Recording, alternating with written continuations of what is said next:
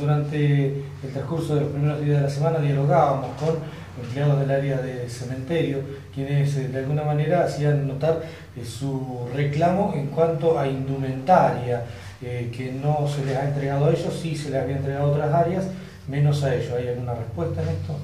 Nosotros cuando hicimos la compra están incluidos los compañeros del cementerio.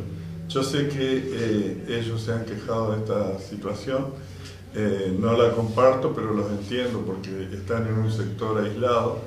Lo que pasa es que eh, la demanda que nosotros tenemos eh, por ahí no nos, no nos permite acercarle esto y bueno, estamos privados de esta posibilidad porque no tenemos ni vehículo ni para trasladarnos nosotros. Le dijimos que pasen a retirar la ropa por acá y la ropa está ahí desde que se compró.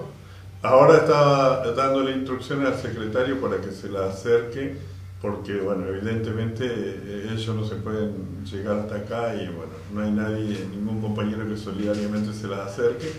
Y son estas cosas que pasan, ¿no? Los dimes y diretes y las incomodidades que, que se generan porque, bueno, estamos en una situación que todo el mundo sabe y realmente a mí me hubiese gustado que los compañeros hubiesen tenido eh, la amabilidad de pasar a retirar la ropa porque está dispuesta desde hace unos cuantos días y está riéndose ahí en un escritorio.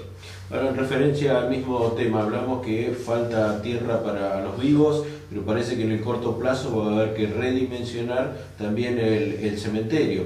Toda comunidad que crece, hay gente que, que, fallece, acá se habla de una media de 100, 120 por, por año, y que, bueno, parece que la disponibilidad allí para sepultar en el cementerio municipal va a quedar corta en el próximo tiempo. De todas maneras nos decían, hay tierra suficiente, hay que hacer un replanteo.